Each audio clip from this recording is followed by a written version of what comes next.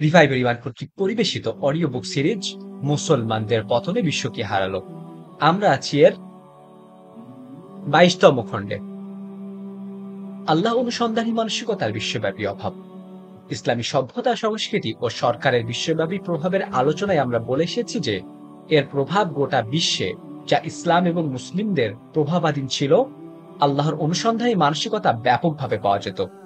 হাজার হাজার লক্ষ লক্ষ মানুষ দিন ধর্মের খোঁজে ও আল্লাহওয়ালা মানুষ তালাশ করতে গিয়ে দুনিয়ার এক প্রান্ত থেকে অন্য প্রান্ত পর্যন্ত পৌঁছে যেত দুনিয়াদারি এবং বস্তুবাদ সর্বত্র ছড়িয়ে যাবার পর ধর্মীয় প্রবণতা এবং আল্লাহ অনুসন্ধানী মানসিকতার কেন্দ্র ওইসব মহাপুরুষের সত্তা এবং তাদের আবাসিক স্থানগুলো ছিল, যারা অলসতা এবং বস্তুবাদের বিশাল বিস্তৃত সমুদ্রের মানস্য জীবনের ক্ষুদ্র ক্ষুদ্র দ্বীপ প্রদীপ কায়েম করে রেখেছিলেন, যেখানে তারা মানুষকে বস্তুবাদের এই ঘূর্ণাবর্ত থেকে বের করে এনে তাদেরকে ধর্মীয় প্রশিক্ষণ দিতেন এবং তাদের ভিতর প্রলয়, তুফান মোকাবেলা করার যোগ্যতা, সামর্থ্য এবং শক্তি পয়দা করতেন।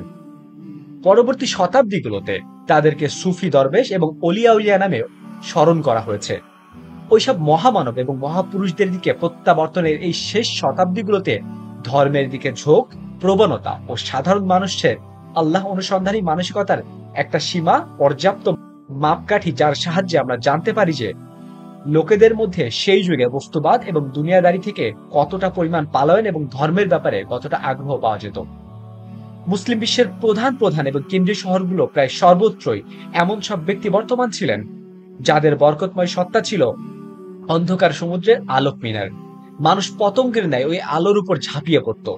পৃথিবীর দূর দূরান্ত এলাকা সমূহ থেকে আল্লাহ প্রার্থী মানুষ এসে তাদের দরবারে সমবেত হতো, আর এসব স্থান হতো এক বিরাট আন্তর্জাতিক জনবসতি, যেখানে একই সময় প্রাচ্য এবং পাশ্চাত্য, উত্তর এবং দক্ষিণের মুসলিমদের সাক্ষাতের মিলন এবং ইসলামের বিশাল বিস্তৃত জগৎ সেখানে জড় অবস্থায় দেখতে পাওয়া যেত।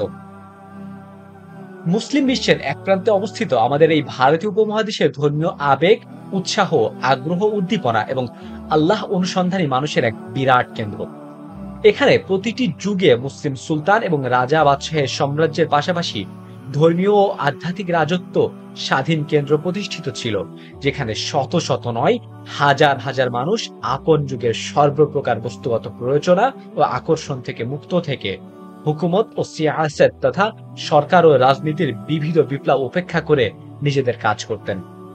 হজরত নিজামুদ্দিন আউলিয়া রহিমাহুল্লাহ তার আধ্যাত্মিক নয়া উপনিবেশ গিয়াসপুর ছিল একটি সর্বোত্তম উদাহরণ, যিনি ঠিক রাজধানীতে আটজন প্রতাপশালী সুলতান গিয়াসুদ্দিন বলবান ছয়শো চৌষট্টি থেকে ছয়শো ছিয়াশি খ্রিস্টাব্দ থেকে নিয়ে গিয়াসুদ্দিন তোহলক সাতশো বিশ থেকে পঁচিশ খ্রিস্টাব্দ পর্যন্ত শাসন আমলে প্রায় পঞ্চাশ বছর পর্যন্ত তার স্বশাসিত ও স্বনিয়ন্ত্রিত হুকুমত কায়েম রেখেছেন এবং সেখানে সিরিস্তান থেকে শুরু করে অযোধ্যা পর্যন্ত সব জায়গার আল্লাহ অনুসন্ধানী মানুষ পড়ে থাকত।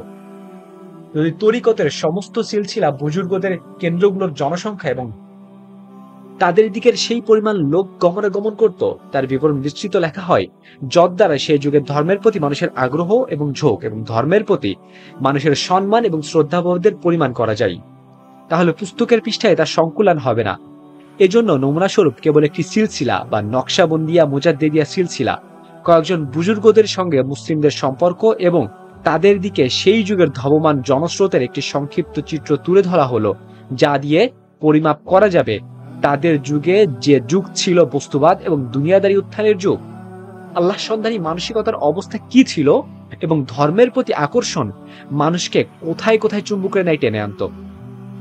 হজরত শাহেক আহমদ শাহ হিন্দি মুজাদ্দিদি আলফেসানি। এর সঙ্গে সম্পর্কিত ভক্ত অনুরক্তদের তালিকার উপর যদি দৃষ্টিক্ষেপণ করা হয়, তাহলে আপনি জানতে পারতেন। ভারতবর্ষ এবং আফগানিস্তানের কত শত শহর এবং পল্লীর কি বিপুল সংখ্যক মানুষ এবং সম্রাট জাহাঙ্গীরের শাসন আমলে কত বড় বড় আমির আমত্ত তার মুরিদ এবং বায়াতভুক্ত ছিলেন এবং কত দূর দূরান্ত থেকে সার হিন্দে এসে মানুষ তার থেকে উপকৃত হয়েছে? তার জালিলুল কদর খলিফা হজরত সৈয়দ আদম বান্নুরি এর খানকায় প্রত্যহ এক হাজার লোক উপস্থিত থাকত এবং দুবেলা পেট পুড়ে খানা খেত। তার সাওয়ারির সাথে হাজার হাজার মানুষ এবং শত শত আলিমোলামা থাকত। তাস্কিরায়ে আদমিয়া নামক গ্রন্থে বর্ণিত হয়েছে, এক হাজার বাউন্ন হিজড়িতে তিনি যখন লাহোরে যান, তখন নেতৃত্ব স্থানীয় সাইয়েদ অলি বুজুর্গ এবং বিভিন্ন শ্রেণির দশ হাজার মানুষ তার সঙ্গী ছিলেন। প্রার্থীদের ভিড় এত বেশি থাকত যে সম্রাট শাহজাহান এতে ভড়কে যান। তিনি কিছু টাকা পাঠিয়ে পেছনে বলে পাঠান, তার উপর হজ ফরজ হয়ে গেছে। তিনি যেন হারামায়ন শরীফাইনে গমন করেন। অনন্তর তিনি ভারতবর্ষ থেকে হিজরত করে চলে যান। মুজাদ্দিদ আলফে সানির নাম করা খলিফা এবং তার পুত্র হজরত খাজা মোহাম্মদ মাসুম এর হাতে নয় লক্ষ মানুষ বায়াত হয় এবং তাওবা করেন। সাত হাজার মানুষ তার খেলাফত লাভে ধন্য হন। তার পুত্র খাজা শায়েখ সাইফুদ্দিন শারহিন্দি দিল্লিস্থ খানকায় প্রার্থীদের ভিড়ের পরিমাণ আপনি এ থেকে করতে পারবেন যে জাইলুল রাহশাহ নামক গ্রন্থে গ্রন্থাকার বর্ণনা মোতাবিক এক হাজার চারশো মানুষ দুবেলা তার দস্তরখানে আপন পছন্দ এবং ফরমাইশ মোতাবেক খানা খেত। আবির উমার এবং বিত্তবান লোকেদের বুজুর্গানে দিনের সঙ্গে ধর্মের প্রতি ভালোবাসা, সম্মান এবং শ্রদ্ধাবোধের দরুন যে সম্পর্ক ছিল, তার নমুনা ছিল এই যে হজরত খাজা মোহাম্মদ জুবাইর হিন্দি। মৃত এগারোশো একান্ন হিজড়ি যখন মসজিদে যাবার উদ্দেশ্যে ঘর থেকে বের হতেন, তখন আমির উমারা রাস্তায় দোশালা ও রুমাল বিছিয়ে দিতেন যাতে তার পা মাটিতে না পড়ে। কোনো রোগীর সেবা শুশ্রূষা কিংবা অন্য কোনো কাজে কোথাও যেতে হলে তার সাওয়ারি রাজকীয় কায়দায় বের হতো এবং তার মিছিলে আমির উমারা এবং বিত্তবান লোকেদের পালকি ও সাওয়ারি থাকত। ইস্ট ইন্ডিয়া কোম্পানির বাণিজ্যিক আমলে বিপ্লবী হুকুমতের কিছু কাল আগ পর্যন্ত এই মানসিকতা এবং রুচি পুরো দমে বিদ্যমান ছিল। মির্জা মাজহার জানে জানার খলিফা হজরত শাহ গোলাম আলী এর যুগে দিল্লির মুজাদ্দিয়া খানকার সত্যানুসন্ধিদের বিরাট বড় কেন্দ্র ছিল। স্যার সৈয়দ আহমদ খান তদীয় আসারুল সানাদিদ নামক গ্রন্থে লিখেছেন, আমি হজরতের খানকায় নিজের চোখে রোম তথা তুরস্ক, শাম, সিরিয়া, লেবানন, জর্ডান, ফিলিস্তিন যার অন্তর্গত ছিল, বাগদাদ, মিশর, চীন এবং আবিসিনিয়ার লোক দেখেছি। তারা দরবারে হাজির হয়ে বায়াত গ্রহণ করতেন এবং খানকার খেদমত করাকে চিরস্থায়ী সৌভাগ্য জ্ঞান করতেন। আর ভারতবর্ষ, পাঞ্জাব ও আফগানিস্তানের মতো কাছাকাছি জনপদের তো কোনো কথাই নেই। এসব শহরের লোকেরা পতঙ্গের মতো দলে দলে এসে হাজির হতো। হজরতের খানকায় পাঁচশো ফকির মিসকিনের কম থাকতো না এবং এদের অন্ধ্র বস্ত্রের দায়ী দায়িত্ব তার উপরেই ন্যস্ত ছিল। শাহ রৌফ আহমেদ মুজাদ্দিদি তার দুররুল মাআরিফ নামক গ্রন্থে কেবল একদিনে আগত লোকেদের স্থান এবং শহরগুলোর তালিকা লিখেছেন, যারা আঠাশে জুমাদিউল আউলা, বারোশো একত্রিশ হিজড়িতে আত্মিক উপকার লাভের আশায় দিল্লির এই খানকায় উপস্থিত ছিল। Samarkand, Bukhara, Ghazni Tashkent Hisar, Kandahar, Kabul, Peshawar, Kashmir, Multan, Lahore, Sirhind, Amroha, Sambhal, Rampur, Bareilly, Lucknow, জায়েস, রাহরাইস, Gorakhpur, Azimabad, Dhaka, পুনা, হায়দ্রাবাদ ইত্যাদি। এটা ছিল সেই যুগ, যখন রেল ছিল না ছিল না যাতায়াতের সেই সব সুবিধা যা আজ আমরা লাভ করেছি। ইস্ট ইন্ডিয়া কোম্পানি সেই যুগে ব্রিটিশ শাসন জেকে বসার কিছুটা আগে হজরত সৈয়দ আহমদ শহীদ এবং তার জলিলুল কদর সাথী মাওলানা আব্দুল হাই বুরহানভি, মাওলানা ইসমাইল শহীদ এবং তাদের একনিষ্ঠ মুবাল্লিকগণ মুসলিমদেরকে আল্লাহ ও তার রাসুলের দিকে ফিরে আসার আহ্বান জানান। আল্লাহর দিকে ধাবিত হও আওয়াজ তোলেন এবং অলসতা, গাফিলতা অবাধ্যতা এবং শরিয়াত বিরোধী জীবনের বিরুদ্ধে জিহাদ শুরু করেন। মুসলিমেরা যে আগ্রহ উদ্দীপনার সঙ্গে আহ্বানে সাড়া দেয় এবং যে রকম পতঙ্গের মতো এই জামাতের আমিরের চারপাশে সমবেত হয়, যেই উন্নত মম এবং উদার মানসিকতা নিয়ে প্রতিনিধি দলকে অভ্যর্থনা জানিয়েছিল এবং নিজেদের ধর্মপ্রেম এবং বিনয়ের প্রমাণ দিয়েছিল, এরপর যেভাবে ভারতীয় উপমহাদেশে ইসলামের বাগ বাগিচা সর্বোত্তম ফুলের নির্যাস তার সমীপে এসে পৌঁছে গিয়েছিল যা বারোশো ছেচল্লিশ হিজড়ির ঘটনায় বালাকোটের মাটিতে মিশে গিয়েছিল এবং এ থেকে বেশ ভালোভাবেই পরিমাপ করা যায় যে সেই অধপতনের যুগেও মুসলিমদের মধ্যে দিনের প্রতি, ধর্মের প্রতি কতটা আগ্রহ, দিলের টান এবং আল্লাহকে পাওয়ার জন্য কতখানি পাগল পাড়া নেশা, কি পরিমাণ মন মানসিকতা এবং কতটা ভালো যোগ্যতা এবং সামর্থ্য ছিল। ধর্মের প্রতি মুসলিমদের আগ্রহের পরিমাণ সেই তাবলিগি সফরের রোয়েদাত থেকে করতে পারবেন, যা সৈয়দ সাহেব বড় বড় জামাত সহ দোয়াবার কেসবা ও শহরগুলোতে এবং এরপরে অযোধ্যায় করেছিলেন। মুসলিমদের আগ্রহ, উদ্দীপনা আরও কিছুটা আপনি সৈয়দ সাহেবের হজ সফর থেকে করতে পারেন, যা তিনি বারোশো ছত্রিশ হিজড়িতে করেছিলেন। এই গোটা সফরে ভারতবর্ষের সেই পূর্বাঞ্চল যা বর্তমানে তিন প্রদেশ, যুক্তপ্রদেশ, বিহার এবং বাংলা নিয়ে গঠিত এবং এই কাফেলার চলার পথ, এই কাফেলা এ পথ দিয়ে অতিক্রম করত অব্যাহত নড়াচড়া এবং গতির মাঝে ছিল। সর্বত্র দিনের জন্য পাগলপাড়া মুসলিমরা পতঙ্গের ন্যায় ঝাঁপিয়ে পড়ত।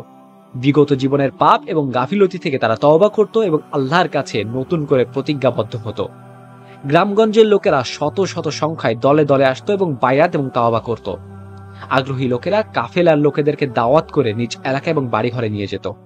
মধ্যবিত্ত শ্রেণি কিন্তু বুলন্দ হিম্মতের অধিকারী মুসলিমরা গোটা কাফেলাকে, যার সংখ্যা কলকাতা পৌঁছুতে পৌঁছুতে সাড়ে সাতশোতে গিয়ে পৌঁছেছিল এবং সেই সব শত শত মুসলিমদেরকে যারা আশেপাশে এলাকা থেকে আসতো, দিল খুলে কয়েক দিন মেহমানদারি করত।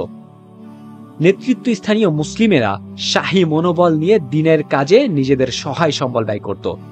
এলাহাবাদের নেতৃত্ব স্থানীয় জনাব শাহেক গোলাম আলী বার থেকে পনেরো দিন মোটামুটি হিসাব অনুযায়ী বিশ হাজার টাকা খরচ করেন। তার দস্তরখানে দুবেলা শত শত মানুষ পেট পুরে খানা খেত কোনো কোনো লোকের ধারণা প্রতিদিন এক হাজার টাকা খানাপিনায় খরচ হতো।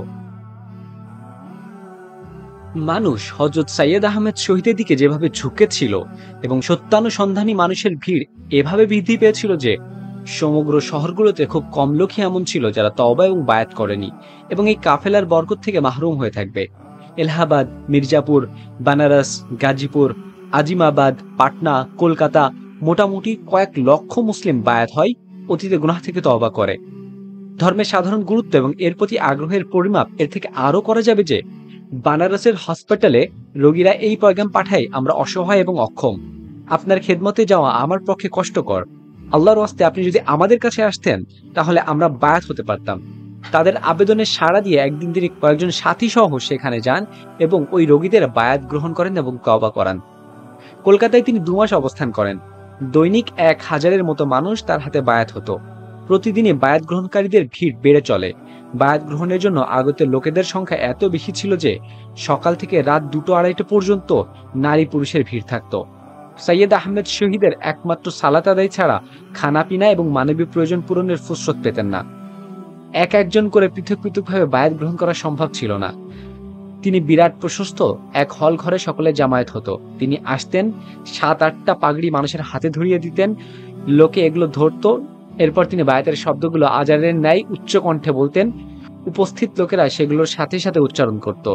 দিনে সতেরো, আঠারো বার এভাবেই বায়াত গ্রহণ অনুষ্ঠিত হতো। আর এভাবেই দৈনিক হাজার হাজার মানুষ বায়াতভুক্ত হতো। ফজর সালাতের পর সাইদ আহমেদ শহীদ পনেরো থেকে উনত্রিশ দিন পর্যন্ত ওয়াজ করেন। দু দু হাজার আমির উমারা, আলিম উলামা এবং সুফি দরবেশ প্রতিদিনই তার খেদমতে আসতেন। দরিদ্র শ্রেণির মানুষের তো কোনো সীমা সংখ্যায় ছিল না। মাওলানা আব্দুল হাই সাহেব জুমা এবং মঙ্গলবারের দিন জোহরের সালাতের পর থেকে সন্ধ্যা পর্যন্ত ওয়াজ করতেন এবং মানুষ পতঙ্গের মতো সমাবেত হতো। দৈনিক দশ থেকে পনেরো জন হিন্দু ইসলাম গ্রহণ করত। সংস্কার, সংশোধন ও দিনদারিতা। তাওবা এবং আল্লাহর দিকে রোজুর এই সাধারণ পরিবেশের শুভ ক্রিয়া হলো। একেবারে হঠাৎ করেই মদ তৈরির কারখানাগুলো বন্ধ হয়ে গেল। সুরিখানার মালিকেরা ব্রিটিশ গভর্নমেন্টের কাছে অভিযোগ পেশ করল, আমরা অকারণে সরকারি ট্যাক্স দিয়ে যাচ্ছি। বেচা বিক্রি না থাকায় আমাদের দোকানগুলো বন্ধ হয়ে গেছে। যেদিন থেকে একজন বুজুর্গ তার কাফেলা নিয়ে এই শহরে এসেছেন। শহর ও গ্রামের সব মুসলিম তার মরিদ হয়ে যাচ্ছে এবং প্রতিদিনই হচ্ছে। এরপর থেকে তারা যাবতীয় মাদকদ্রব্য থেকে তওবা করছে। আর এখন কেউ আমাদের দোকানের দিকে ফিরেও চায় না। দিন এবং দিনদার লোকেদের প্রতি মানুষের ভালোবাসার অবস্থা এরূপ, যখন হাজিদের এই কাফেলা, যাদের সংখ্যা ছিল সাতশো, মক্কা মোয়াজ্জামা থেকে ফেরার পর মুর্শিদাবাদের নিকটবর্তী দেওয়ান গোলাম মুরতাজের বাড়িতে গিয়ে উঠল। তখন দেওয়ান সাহেব প্রকাশ্যে বাজারে ঘোষণা করে দিলেন, সাইয়দ সাহেবের কাফেলার কোনো লোক বাজারে কিংবা কোনো কিছু কিনলে অথবা কাউকে কোনো কিছুতে কাজ করালে তার মূল্য কিংবা মজুরি আমি পরিশোধ করব। সাইয়দ আহমেদ শহীদ তাকে বোঝানোর চেষ্টা করলেন, আপনি এতটা দায়বদ্ধ কেন হচ্ছেন? তিনি জবাব দিলেন, কোনো মুসলমানদের ঘরে যখন হাজি সাহেবের আগমন ঘটে, তখন তা তার জন্য বড়ই সৌভাগ্যের বিষয়। আপনাদের পদর্পণ আমার জন্য যেই সৌভাগ্য বয়ে এনেছে, এজন্য আমি যত গর্বই করি না কেন, তা নেহাদি অকিঞ্চিত করই হবে। আমার পরম সৌভাগ্য, এত বিপুল সংখ্যক হাজির শুভাগমন আমাকে ধন্য করেছে। এরপর যখন সাইয়েদ আহমেদ শহীদ রহিমাহুল্লাহ মুসলিমদেরকে জিহাদের দাওয়াত জানালেন, যখন মুসলিমরা অত্যন্ত স্নেহোৎসার তা কবুল করে কৃষক তার লাঙ্গল ছেড়ে দোকানদার তার দোকান বন্ধ রেখে কর্মচারী এবং চাকরিজীবী তার মনিব এবং বসকে সালাম জানিয়ে নেতৃত্ব স্থানীয় লোকেরা তাদের মহল্লা থেকে বেরিয়ে উলামাই কেরাম এবং মাসাইখে ইজাম স্ব মাদ্রাসা এবং মাক্তাব খানকা ছেড়ে তার সঙ্গী হয়েছেন এবং একবারের জন্য ঘরের দিকে ফিরে তাকাননি। এমনকি প্রাণোৎসর্গকারী জানবাজ মুজাহিদদের শেষ জামাতটি বালাকোটে সংকীর্ণ এবং কঙ্করময় ঘাটিতে সেই সব পাথর এবং কঙ্করের মাঝে, যার ভিতর দিয়ে পথ চলা পথিকদের জন্য মোটেও সহজ নয়। নিজেদের চেয়ে দশ গুণ শত্রুর মোকাবেলায় জীবন বিলিয়ে দিলেন এবং মৃত্যুর মুহূর্তে ঘরবাড়ির কথা স্মরণেও আনেননি। এসব বিস্তারিত বিবরণ এই জন্যই লিখতে হলো যেন এর পরিমাপ করা যায় মুসলিমদের কর্তৃত্বের শেষ যুগে এবং তাদের অধপতনের যৌবনকালেও। কিছু পাশ্চাত্য উত্থান এবং বিজয়ের যুগে প্রথম দিকে মুসলিমদের মধ্যে ধর্মের প্রতি আগ্রহ এবং সম্মানবোধ, ধর্মীয় চেতনা এবং অনুভূতি কতটা প্রবল ছিল এবং তাদের মনোবল কতটা উন্নত ছিল। ইংরেজ রাজত্বের প্রথম দিকেও যখন পাশ্চাত্য সভ্যতা সংস্কৃতি এবং শিক্ষা, তাদের নীতি নৈতিকতা, চরিত্র এবং রাজনীতির প্রভাব ভারতবর্ষে সাধারণ জনজীবনের উপর তেমন প্রভাব ফেলেনি। প্রথম যুগের আছর বর্তমান ছিল, যদিও তা ছিল মরণ দশায় এবং হজরত মাওলানা ফজলে রহমান গঞ্জে মোরাদবাদী। এর মতো বুজুর্গ যিনি এই উভয় যুগই সচক্ষে দেখেছিলেন তিনি নিজের যুগের ধর্মীয় দুর্দশা দৃষ্টি আফসোস করতেন এবং বড় ব্যথাভরা কণ্ঠে বলতেন, একদা যারা দিলের দাওয়াত বিক্রি করত, তারা আজ দোকানের পাসরা সাজাতে ব্যস্ত। যদিও হেমন্তের হিমল বাতাস বইতে শুরু করেছিল, তবুও শীতের মৌসুম তখনও জেগে বসেনি। আল্লাহর সন্ধানী মন মানসিকতা তখনও বিদ্যমান ছিল। আল্লাহওয়ালা লোকেদের সঙ্গে সম্পর্ক, আধ্যাত্মিক পরিশুদ্ধি, জীবনের সংস্কার, সংশোধন এবং প্রশিক্ষণকে জীবনের একটি অপ্রয়োজনীয় এবং অপরিহার্য শাখা মনে করা হতো। আলিমুলামা এবং দিনদার লোকেদের কথা বাদ দিলে সাধারণ কারবারি মুসলিম এবং দুনিয়ার আমির উলামারা এই ধারণা থেকে শূন্য এবং এই আগ্রহ থেকে মাহরুম ছিলেন না। বড় বড় কেন্দ্রীয় শহর বাদ দিলে ওই ছোট ছোট গ্রাম এবং কাসবাও আল্লাহওয়ালা বুজুর্গ দ্বারা পরিপূর্ণ ছিল। আল্লাহর দিকে আহ্বানকারী এবং আল্লাহর নামে শিক্ষাদানকারী মুসলিমদের জনবসতি শহর, নগর বন্দর, গ্রামগঞ্জ এবং পল্লীগুলোতে এমন অব্যাহতভাবে পাওয়া যেত যে, এমন একটা যুগ পাওয়া যাবে না যে, যখন তারা ছিলেন না। আজ থেকে তিরিশ চল্লিশ বছর পূর্বের ভারতবর্ষের দিকে তাকান, কিংবা কোনো বর্ষিয়ান মুরব্বী থেকে শুনুন। দেশের এক প্রান্ত থেকে আরেক প্রান্ত পর্যন্ত এক সারি আলোকমালা চোখে পড়বে। ক্রমে ক্রমে এসব ভোরের সুখ তারা এক এক করে নিতে শুরু করে। এক প্রদীপ থেকে আর এক প্রদীপে জলবার চিরাচরিত ধারা থেমে যায়। এই টিমটিমে প্রদীপটুকু অবশেষে নিভে যায়। মৌসুম ক্রমান্বয়ে তার পরিপূর্ণ প্রভাব জাকিয়ে বসে। হেমন্তকালে গাছপালা হেলাতে এবং শুকনো পাতা ঝরাতে কে দেখেছে? কিন্তু মৌসুমী আবহাওয়ার প্রভাব প্রক্রিয়াধীন পাতা ও ফুল শুকিয়ে শুকিয়ে আপনা আপনিই ঝরে যায়। ইংরেজ শাসকদের পক্ষ থেকে কখনো এই ঘোষণা আসেনি। খানকাহগুলো বন্ধ করে দিন এবং সংস্কার সংশোধনের পথ প্রদর্শনের কাজ গুটিয়ে ফেলুন। এর বিপরীতে সে যুগে ভ্রমণের রাস্তা খুলে যায়। যোগাযোগ ব্যবস্থা উন্নতির ফলে দূর দরাজ এলাকার ভ্রমণ পূর্বের তুলনায় খুবই সহজ হয়ে যায়। কিন্তু হলে কি হবে? মানুষের মন থেকে সেই আগ্রহ উদ্দীপনায় হারিয়ে যায়, যে আগ্রহ উদ্দীপনা একদিন সদূর বুখারা এবং সমরকন থেকে ইলম পিয়াসীদের পায়ে হাঁটিয়ে এখানে টেনে আনতো। তারা এই বৃক্ষের উপর কখনো কুড়াল মারেনি, কখনোই বৃক্ষে আগুন লাগায়নি। কিন্তু গাছের গোড়ায় পানি না ঢালাই ও অনুকূল আবহাওয়া উপযুক্ত পরিবেশ না পাওয়ায় তার ডালপালাগুলো নিজে থেকেই শুকিয়ে যেতে থাকে এবং ফুলে ফলে সুশোভিত হওয়ার দিন অনেক আগে থেকেই বন্ধ হয়ে যায়। জীবনে আল্লাহকে পাবার কোনো ঘর এবং ক্ষুদ্র থেকে ক্ষুদ্রতার কোনো কোণই থাকল না। হৃদয় এবং আত্মার জায়গাও পেট এবং পাকস্থলী দখল করে নিল। জীবনের সমস্ত উন্নয়ন পবিত্র, সূক্ষ্ম হকিকত চোখের সামনে থেকে অদৃশ্য হয়ে যায়। এই দীর্ঘকাল থেকেই অদৃশ্য লোকে থেকে এই আওয়াজ ভেসে আসছে। এখন আর তুমি হৃদয়বান মানুষের সন্ধান করো না, কেননা লোহিত সাগরের উত্তাল উর্মি থেমে গেছে। ব্যথার পুঁজি যাদের ভেতরে ছিল, সেই নৌকাগুলো ডুবে গেছে।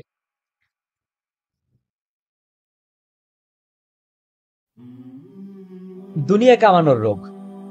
বর্তমান যুগে আল্লাহকে চাইবার পরিবর্তে দুনিয়া চাইবার যুগ এবং তার চাইতেও অধিক জোরে সরেই এসেছে এই যুগ।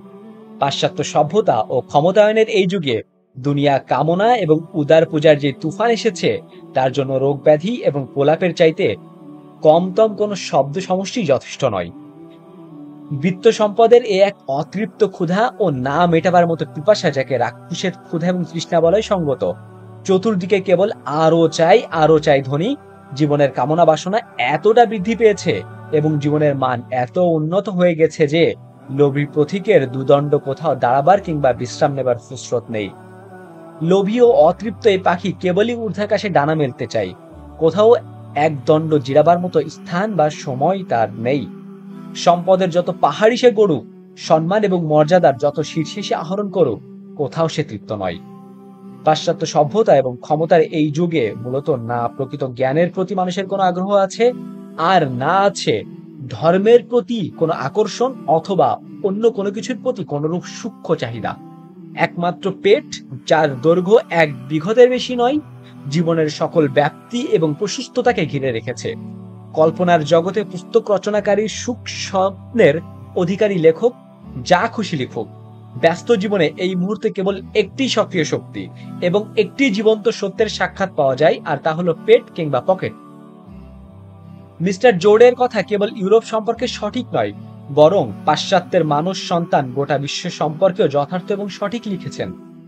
যেই জীবন দৃষ্টি এই যুগের উপর চেপে বসে আছে, বিজয় হিসেবে জেকে আছে তা অর্থনৈতিক দৃষ্টিভঙ্গি ও আদর্শ এবং প্রতিটি সমস্যা এবং প্রতিটি বিষয়কে পেট কিংবা পকেটের দৃষ্টিকোণ থেকে দেখা এবং যাচাই বাছাই করা। কোন যুগ ও জামানার রুচি, স্বাদ এবং সাধারণ প্রবণতা ও জীবনের সত্যিকার সমস্যার সঠিক পরিমাপ সেসব গ্রন্থ থেকে করা যায় না, যেসব গ্রন্থ সেই যুগে লেখা হয়। যদিও সাধারণ রুচি প্রকৃতি এবং প্রবণতার প্রভাব থেকে কোনো গ্রন্থই একেবারেই মুক্ত হয় না। এবং কয়েকটি পর্দার আড়াল থেকেও এর আভা দৃষ্টিগোচর হয়।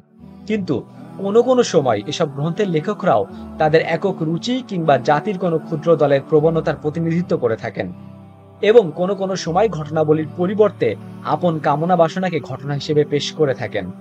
যুগের রুচি এবং প্রবণতার সঠিক পরিমাপ দৈনন্দিন জীবন, খোলামেলা, অসংকোচ, আলাপ আলোচনা, বৈঠকি আলাপের বিষয়বস্তু এবং লোকের সাথে মেলামেশা এবং দেখা সাক্ষাতেও হয়ে থাকে। কবি আকবর ইলাহাবাদীর ভাষায়, ছবি যাচাই করো না, লোকের সাথে মিলিত হয়ে দেখো, কোন জিনিস জীবিত হচ্ছে আর কি মারা যাচ্ছে। এই মূলনীতিকে সামনে রেখে রেলপথের দীর্ঘ সফর, সকাল সন্ধ্যার পায়চারির মুহূর্ত, খানা কিংবা চায়ের টেবিলে সবুজ পার্ক ও ভ্রমণ কেন্দ্রগুলোর ইতস্তত পদচারণা ও আড্ডার সময় এবং বন্ধু বান্ধবের সঙ্গে খোলামেলা এবং অন্তরঙ্গ আলোচনায় মৌকায় কান লাগিয়ে শুনুন, কি নিয়ে কোন বিষয়ে আলোচনা হচ্ছে। আলোচনার বিষয়বস্তু কি? শুনতে পাবেন, কথা হচ্ছে বেতন বাড়লো কিংবা কমলো। অফিসারদের সন্তুষ্টি কিংবা অসন্তুষ্টি, প্রশাসনিক কর্মকর্তাদের বদলি, তাদের মেজাজ মর্জি নিয়ে আলোচনা সমালোচনা। ব্যবসা বাণিজ্যের লাভালাভ, ব্যাংকের লেনদেন, সুদের হার, কোম্পানির শেয়ার শেয়ার বাজার, বীমা কোম্পানির পলিসি, পেনশন ও প্রভিডেন্ট ফান্ড। চাকরি থেকে অব্যাহতি কিংবা অবসর গ্রহণের পরবর্তী অবস্থা, চাকরির সম্ভাবনা জেতার নানা ঘটনা সৌভাগ্যবানদের নিয়ে ঈর্ষা, ভাগ্যহতদের ব্যাপারে আফসোস এবং জাতীয় বিষয় নিয়ে কথা ছাড়া আপনি হাজার চেষ্টা করলেও এর বাইরে অন্য কোনো বিষয়ে আলোচনা করতে দেখতে পাবেন না। অথবা আপনি দেখবেন রাজনীতি নিয়ে আলোচনা, সমালোচনা ও পর্যালোচনা হচ্ছে। কিন্তু কোনো নৈতিক দৃষ্টিকোণ থেকে নয়। কোনো ভ্রান্ত সমাজ ব্যবস্থার উপর নীতিগত সমালোচনা এবং কোনো সুস্থ সমাজ ব্যবস্থা সম্পর্কে আকাঙ্ক্ষা এবং আশাবাদ এতে আপনি পাবেন না। পাশ্চাত্যের লোকেরা এ ব্যাপারে আগ্রহী এবং ভারতের হিন্দুরা প্রতিটি পদক্ষেপে তাদের হুবহু অনুসারী। দুঃখের ব্যাপার হলো, মুসলিমরা এখন তাদের পদাঙ্ক অনুসরণ করছে। নৈতিক অধপতন। ইউরোপিয়ানরা এদেশে যখন প্রথমে বণিক অথপর বিজয় বেশে প্রবেশ করল, তার বেশ কিছুকাল আগে থেকে এখানে অধপতন শুরু হয়ে গেছে। প্রাচ্যের এবং ইসলামী সভ্যতার বৈশিষ্ট্যগুলো হয়তো পতনের দিকে দ্রুতগতিতে অগ্রসর মান অথবা এর মধ্যে বাড়াবাড়ি কিংবা বিকৃতি শুরু হয়ে গিয়েছে। কিন্তু এরপরও এমন কতগুলো নৈতিক বৈশিষ্ট্য এতে পাওয়া যেত এবং এতে এমন উন্নতি হয়েছিল যার কল্পনা করাও এ যুগে দ্রোহ। প্রাচ্যের লোকেরা কতক চরিত্র এবং বৈশিষ্ট্য উন্নত করতে এমন এক পর্যায়ে পৌঁছে গিয়েছিল যে তা একটি স্বতন্ত্র শাস্ত্রের রূপ পরিগ্রহণ করে এবং এর মধ্যে এমন সূক্ষ্ম এবং পেলবদ দান করেছিল যা পাশ্চাত্যে কেবল কাব্য, সাহিত্য এবং শিল্পকলারই অংশ। মুসলিম প্রাচ্য সমাজের সদস্যদের মধ্যে পারস্পরিক সম্পর্ক এতটাই দৃঢ়, স্থায়ী, মজবুত এবং গভীর ছিল, আজকে তা কল্পনা করাই কঠিন। পিতামাতার প্রতি সন্তানের শ্রদ্ধা, ভালোবাসা, সন্তানদের ও ছোটদের প্রতি পিতামাতা এবং গুরুজনদের বাৎসল্য ও স্নেহ, বড়দের প্রতি ছোটদের ভক্তি শ্রদ্ধা, নারীদের সতীত্ব, সম্ভ্রমবোধ, স্বামীর আনুগত্য এবং তার প্রতি বিশ্বস্ততা কর্মকর্তা কর্মচারীদের আমানতদারিতা ও নেমক হালালি যুবকদের চারিত্রিক সততা, দৃঢ়তা, অভিজাত এবং শরীফ লোকেদের আচার আচরণ, ব্যবহার, আত্মীয় সম্পর্ক রক্ষা, দেখা সাক্ষাৎ, সময়ানুবর্তিতা, নিয়মিত আমলসমূহ আদায়, পোশাক পরিচ্ছদ ও সামাজিক ক্ষেত্রে পরিপূর্ণ সাম্য এবং বৈশিষ্ট্য রক্ষা বন্ধু বান্ধবদের জন্য ত্যাগ, কুরবানি ও সংবেদনশীলতা ইত্যাদি। এর এক একটি শিরোনামের আওতায় এত ব্যাপক এবং বিস্তৃত ঘটনা বর্ণিত আছে যা কালের বিবর্তনে আজ সহজে বিশ্বাস করা কঠিন। কিন্তু এতদ সত্ত্বেও এর এত প্রচুর কারণ রয়েছে যে বিশ্বাস না করে উপায় নেই। পিতা এবং সন্তানের আনুগত্যবোধ মুসলিম প্রাচ্য এই কিছুকাল আগে পর্যন্ত এবং কোথাও কোথাও এখনও পর্যন্ত রাসুল্লাহ সাল আলহি ওয়াসাল্লামের নির্দেশ পালনার্থে বিদ্যমান ছিল। যে নির্দেশ তিনি জনৈক ব্যক্তিকে দিয়েছিলেন আর তা ছিল এই, তুমি ও তোমার সম্পদের মালিক তোমার পিতা, পিতামাতার প্রতি সন্তানদের ভক্তি শ্রদ্ধা এবং তাদের প্রাপ্য হক আদায়ে এই প্রেরণা পিতামাতা জীবিত থাকা পর্যন্ত সীমাবদ্ধ নয়, বরং তার মৃত্যুর পরেও তা অব্যাহত থাকত। পিতামাতার বন্ধু বান্ধব পরিচিত একান্ত জনদের প্রতি আচার ব্যবহার, সাহায্য সহযোগিতা, উপহার উপঢৌকন ও হাদিয়া তোহফা প্রদানের মাধ্যমে ভক্তি শ্রদ্ধা ও ঘনিষ্ঠতার প্রকাশ করা সৌভাগ্যবান সন্তানদের নৈতিক দায়িত্ব এবং কর্তব্যের অন্তর্গত ছিল। বস্তুতপক্ষে এটাও ছিল নববী তালিমের ফলশ্রুতি। এই তালিমে বলা হয়েছিল সর্বোত্তম নেকির আমল সমূহের অন্যতম হল পিতার ইন্তিকালের পর তার বন্ধু বান্ধবের সঙ্গে সদব্যবহার এবং উত্তম আচরণ করা। অপরদিকে, সন্তান সন্ততির প্রতি পিতামাতার আচরণ ছিল বিশুদ্ধ কল্যাণ কামনার উপর নির্ভরশীল এবং তাদের এই আচরণ ছিল মুসলিম প্রাচ্যের ত্যাগ এবং জীবন উৎসর্গের প্রকৃষ্ট নমুনা।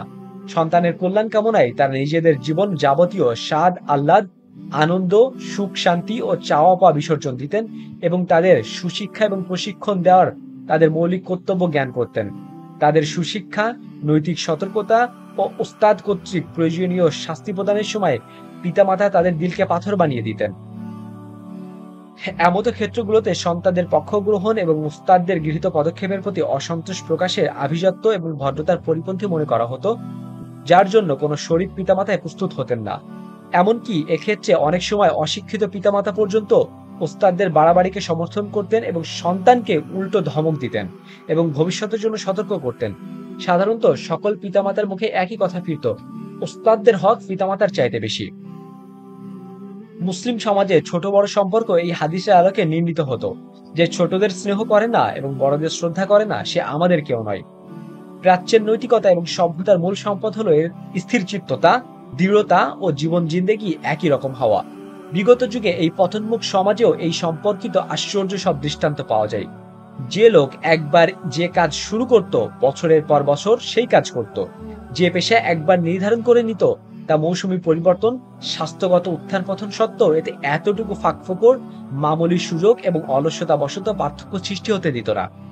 যার সঙ্গে যেমনতর ব্যবসায়িক লেনদেন শুরু করা হতো, শেষ পর্যন্ত তা রক্ষা করা হতো, তা এতই যা কিছুই ঘটুক না কেন অবস্থা যতই পরিবর্তন সাধিত হোক না কেন, সে যুগের খানদানি এবং গোত্রীয় জীবনের ব্যক্তির সম্মান শ্রদ্ধা ও প্রভাব প্রতিপত্তির মাপকাঠি এ সম্পর্কে যোগসূত্রের শর্ত কেবল ধন সম্পদ এবং প্রাচুর্য ছিল না। একই খানদান এবং একই পরিবারের বিভিন্ন সদস্য অর্থনৈতিক ক্ষেত্রে নানা স্তরের হয়ে থাকে। কেউ হয় ধনী, কেউ হয় নিঃস্ব গরিব। কিন্তু পারিবারিক সমাবেশ এবং মিলন মেলাগুলোতে কারোর ক্ষমতা বা দুঃসাহস হতো না যে আর্থিক পার্থক্যের কারণে একই খানদান এবং পরিবারের লোকেদের মধ্যে আচার ব্যবহারে পার্থক্য করবে। কদাচিৎ এ ধরনের ভুল হয়ে গেলে এর বিরুদ্ধে সমগ্র খানদান এবং গোটা পরিবার প্রতিবাদ মুখর হয়ে উঠত। কখনো তার সম্পর্ক ছেদের পর্যায় পর্যন্ত গিয়ে দাঁড়াতো। একজন গরিব অভিজাত পরিবারের সন্তান অন্য সচ্ছল ভাইদের সঙ্গে চোখে চোখ রেখে স্বাচ্ছন্দ্যে কথা বলতো এবং সচ্ছল ভাইও গরিব ভাইদের সঙ্গে তার পারিবারিক আভিজাত্য এবং আত্মীয়তার দরুন সমান আচরণ করত। এই ব্যাপারে সযত্ন প্রয়াস চালানো হতো যাতে করে দারিদ্র এবং অসচ্ছলতার কথা নিকটতম এবং ঘনিষ্ঠতম আত্মীয় স্বজন ছাড়া বাইরের লোকেরা জানতে না পারে। অন্যের সামনে যেন তা প্রকাশ না পায়। ইসলামী পরিবেশ শেষ যুগ পর্যন্ত আভিজাত, ভদ্র ও নীতিবান লোকেদের বিবেক তার সম্মান, সম্ভ্রম তথা ইজ্জত, আবরু ও ধর্মীয় বিশ্বাসের মতোই এমন এক সম্পদ মনে করা হতো যা বিক্রয়যোগ্য নয়। এমনকি এর বিনিময় যত মূল্যই প্রদান করা হোক না কেন। আঠারোশো সাতান্ন সালের মহাবিপ্লবের আগে পিছে মুসলিম অভিযাত্রীদের অনেক দৃষ্টান্ত মিলবে, যেখানে তারা নিজেদের মৃত্যুকে কবুল করে নিয়েছে, কিন্তু বিবেককে খুন করতে পছন্দ করেনি। তারা এই জন্য গুলি খেয়েছে কিংবা ফাঁসির কাষ্টে জীবন দিয়েছে, তবুও মিথ্যা বলতে রাজি হয়নি। তার সামনে প্রস্তাব পেশ করা হয়েছে মিথ্যা বলে সে নিজেকে অভিযোগ থেকে মুক্ত করতে পারে এবং সে এই বিপ্লবে যোগ দেয়নি কিংবা কোনোভাবে এর সঙ্গে সম্পৃক্ত ছিল না। এই বলে সাফাই পেশ করে সে মৃত্যুদণ্ডের হাত থেকে অব্যাহতি পেতে পারে। কিন্তু না, তা তারা করেনি, কেননা তা ছিল সত্যের পরিপন্থী এবং তা বিবেকের বিরোধী। মিল্লাত এবং জাতির স্বার্থেও সে এভাবে নিজের সাচ্চা এবং সত্যবাদী প্রমাণ করত, যেভাবে প্রমাণ করত ব্যক্তি এবং পারিবারিক স্বার্থের ক্ষেত্রে। জাতীয় এবং সাম্প্রদায়িক স্বার্থ পূজার যে নগ্ন হাওয়া আজ পাশ্চাত্য জাতিগুলোর মধ্যে প্রবাহিত হচ্ছে, তখন পর্যন্ত তা এদেশে দেখা যায়নি। তারা জাতির স্বার্থ সংশ্লিষ্ট বিষয়গুলোতেও মিথ্যা বলা এবং মিথ্যা সাক্ষ্য দেওয়াতে তেমনই পাপ এবং অপরাধ মনে করত, যেমনই মনে করত নিজের ব্যক্তিগত ব্যাপারে। শরীয়তের হুকুম, আহকামকে তারা ব্যক্তিগত এবং জাতীয় জীবনের সকল বিষয় এবং সমগ্র ব্যাপারে সমভাবে প্রযোজ্য ভাবত। তাদের সামনে ছিল কোরআন মাজিদের নিম্নোক্ত হৃদায়ত সমূহ হে মুমিনগণ তোমরা ন্যায় এবং ইনসাফের পতাকাবাহী ও আল্লাহর পক্ষে সাক্ষ্য প্রদানকারী হিসেবে দাঁড়িয়ে যাও। যদিও তা তোমাদের, নিজেদের কিংবা পিতামাতা এবং আত্মীয় পরিজনের বিরুদ্ধেও হয়। কোন জাতিগোষ্ঠীর প্রতি শত্রুতা এবং বিদ্বেষ যেন তোমাদেরকে অন্যায় বিচারে প্ররোচিত না করে, ন্যায় বিচার করবে, এটাই তাকুয়ার নিকটবর্তী, আল্লাহকে ভয় করবে। ছোরা মায়েদা, আয়াত আট। যখন তোমরা বিবদমান গোষ্ঠীর মধ্যে সালিসে নিযুক্ত হও, তখন ন্যায় বিচার করবে। সোরা আন নিসা আটান্ন। যখন তোমরা কথা বলো, তখন ইনসাফের ভিত্তিতে বলো। যদি তা তোমাদের আত্মীয় স্বজনের বিরুদ্ধেও যায়। সুরা আল আন আম একশো তিপ্পান্ন। আর এখানে শেষ হচ্ছে বাইশতম এপিসোড আর যারা এখনও পর্যন্ত আমাদের চ্যানেলটিকে সাবস্ক্রাইব করেননি, তারা চ্যানেলটিকে সাবস্ক্রাইব করে দেন। আর কমেন্ট বক্সে অবশ্যই আপনি লিখবেন আপনি কোথা থেকে শুনছেন। আমরা জানতে চাই, বাংলাদেশ সহ পুরো পৃথিবীর কোথা থেকে আমাদের এই বইটি শোনা হচ্ছে। ইনশাল্লাহ আপনি আমাদেরকে হতাশ করবেন না। দেখা হবে পরবর্তী এপিসোডে আসসালামু আলাইকুম আ রহমতুল্লাহ বারাকাতুহ।